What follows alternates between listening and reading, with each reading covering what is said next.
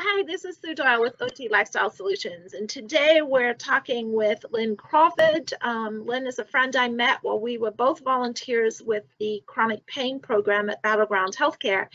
Lynn, um, tell us a little bit about yourself and what you're doing now. Well, the reason that I stopped volunteering with Battleground Healthcare was because my husband became very ill with dementia. And um, shortly after his illness, he actually died two years after his diagnosis, which is rather rapid. And it was kind of a freight train for my family. One of the things that I noticed is that there was not a tremendous amount of support in the community for the care partners of people that had dementia. I did discover Hope Dementia support groups, and while I had never attended them, when my husband died, I asked that uh, in lieu of flowers, donations be made to Hope. Through that connection, I actually uh, got to know the organization a little bit and joined them as a facilitator for support groups. And a year after that, I joined their board, and a year after that, became the executive director of Hope Dementia Support. So that's what I've been up to.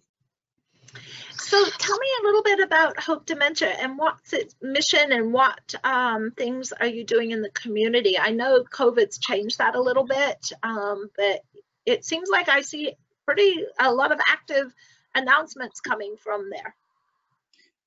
Well, fortunately, Zoom has saved Hope so that all of our support groups are currently on Zoom.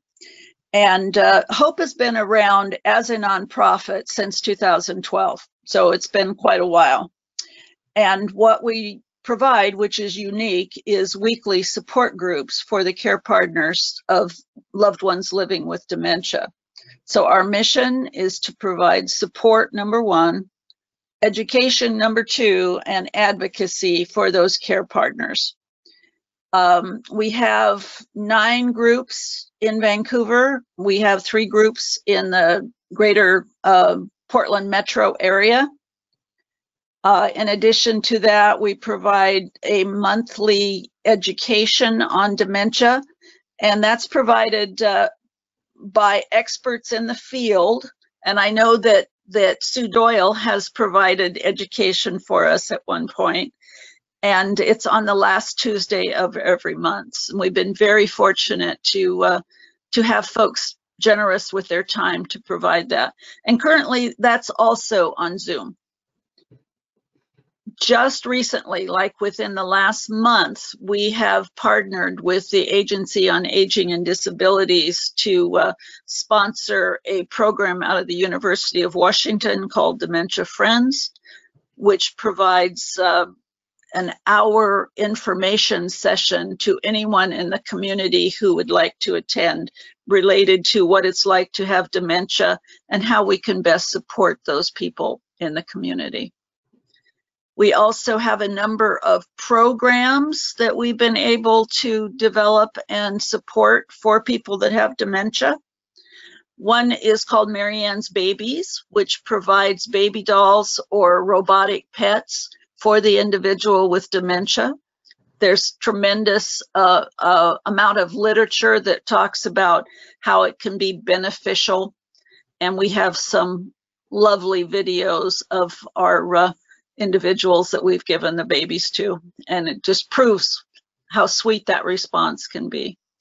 We also have a program called Celebrating Dreams, which allows us to uh, provide funding for something as simple as a birthday or anniversary celebration, or as complex as uh, um, a few hours of respite care for that care partner so that they can get a little bit of relief.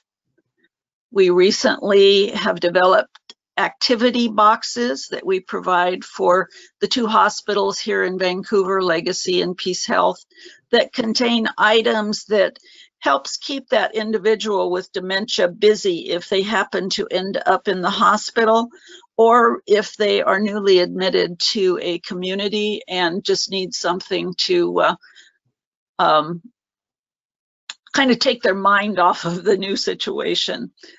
Uh, we are partnering with music therapists here in Vancouver to number one, prime, provide music programs for individuals with with dementia because of the fact that uh, one of the very last things to go, if it ever goes, is that love of music.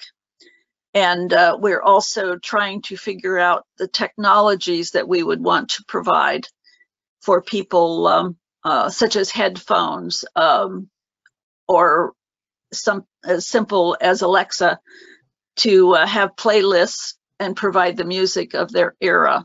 So those are some of the programs that we're working on. So we've imagined managed to stay busy.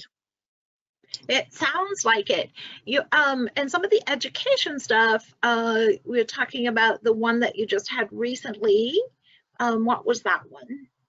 That was uh, anticipatory grieving when your loved one has dementia. Anybody that that uh, has had experience with dementia knows that that they lose the person long before that person dies.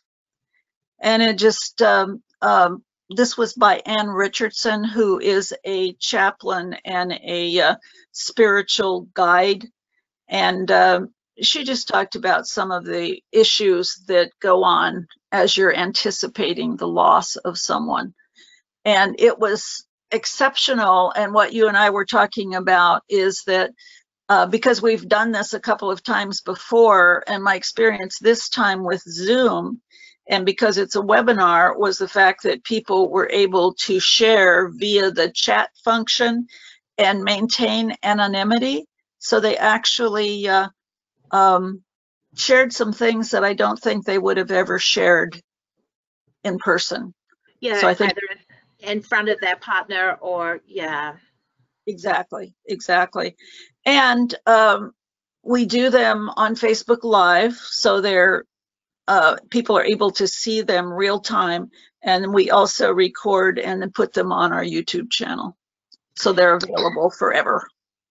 Good. I'll put links to those both in the show notes when I post this on YouTube too for people who are interested in following up. So they are there. It also means that people can join them um, from anywhere at the moment, right? Exactly, exactly. So you have another one you were just telling me about coming up that seemed um, like it would be really helpful as well. Yes, um, April is actually uh, the month that that we kind of celebrate National Healthcare Decisions Day. And what that is, is an encouragement for everyone to complete their advanced directives. And we are fortunate enough to have Dr. Uh, Barak Gaster from the University of Washington, who has actually created the Dementia Directive. And he will be talking about advanced directives when your loved one has dementia. Um, he's a really good speaker, and it's a very important topic because we need to know as soon as possible what that person's wishes were. I was very fortunate that my husband and I had talked about it many years in advance because both of us were healthcare professionals and I knew exactly what he wanted, even though he wasn't capable of telling me. Yeah, and and that's such an important decision, having been through it with my mother-in-law and looking at some of the issues involved when family and other people don't understand. Making those decisions, making them known as soon as possible, having it in writing is really a useful guide. So I think that would be a great presentation for people to be able to listen to.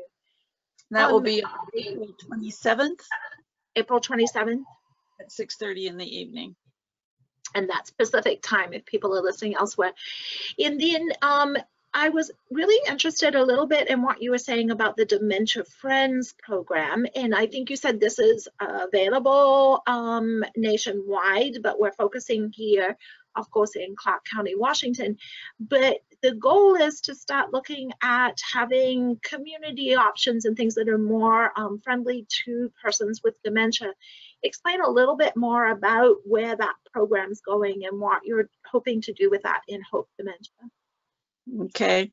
Well, that, that program came, came to us from uh, the UK and it came to them from Japan. And they, they're really quite advanced in uh, caring for individuals with dementia. In fact, the uh, National Health Service uh, supports it completely in the UK. So it's quite different here. Uh, we have a number of states who have actually joined. It's Dementia Friends USA if people were going to go and look at a website. But a number of states have, have joined that program. And Washington State has joined it again through the University of Washington. Um, and so we have contracted with them to be able to provide the programs. We're the fourth county in the state that is able to do that. And basically what it involves is providing one hour information sessions to the community that talks about, okay, this is what it's like to live with dementia. And it gives some very concrete examples that it walks you through. And then how it might be that you can provide better support for those individuals in the community. And we're very excited. We've actually trained a number of champions, and what champions do is provide those information sessions. And we have done three information sessions uh, ourselves because we literally have just started that program. And there's one scheduled at 10 o'clock on Friday morning and they're all via Zoom right now. Okay, that's um that sounds like an interesting um, thing for community members to get engaged in. Um, and as I was sharing with you, there's a new program out for occupational therapists called Skill to Skills to Care. Um, which is looking at providing support with caregivers, which is also actually covered under Medicare. So that's a very structured program where I think we need to talk a little bit more about being able to work together to provide some of those supports. That's very exciting to me to know that, that yeah. uh, because you know it's one thing to to acknowledge that people with dementia live in our community and maybe we need to remember that they're human beings and, and you know that's uh, you can tell I just climbed on my soapbox. That uh, because you have dementia does not mean that you lose your personhood. And I, we want to remind people of that. You still need to look people in the eye. And they still know if you are not treating them well. And uh, that's that's the reason that we have joined dementia friends and that we're so excited about it yeah, it sounds like such an exciting um, thing. And it sounds like even with COVID, you've kept really busy and being able to still support a lot of people in the community and improve quality of lives and change what's happening. Well, we're very fortunate that we have technology. If we didn't have technology, we would no longer have hope because all of our uh, support groups have gone to the uh, Zoom platform and so we have all of those groups that are on via Zoom. Now we've lost some folks because they just can't do the technology, but we've gained more because it's so convenient for them to be able to do that. And as I was telling you, we even have people from as far as Florida who are have come on to our calls. I, I was going to ask you, that's interesting. Are there other HOPE communities around the country, or is this something unique here? This program, you know, this organization is a nonprofit that is exclusive to us. Oops, your sound, you got muted, Lynn. Phone call, sorry, got rid of it. Call her back later. Uh, yes, so you were saying this um, Hope is is exclusive to this community, um, but are there other similar organizations around the country? There are definitely support groups around the country. Um, I, I'm not really familiar with their format. I do know that uh, there are quite a number of Facebook support groups that um, um, I follow just because I'm interested and uh, and there are other online support groups as well. So it there are ones that are available out there. Okay. Well, well, thanks for sharing with us. And I think this is a great um, opportunity for more community collaboration, but also just looking at the things that you're doing and the things that therapists and, and stuff can do to help and support. Um, I think we need to be working on more collaborations. Well, I'm excited about that and I appreciate your time this morning. All right, thanks.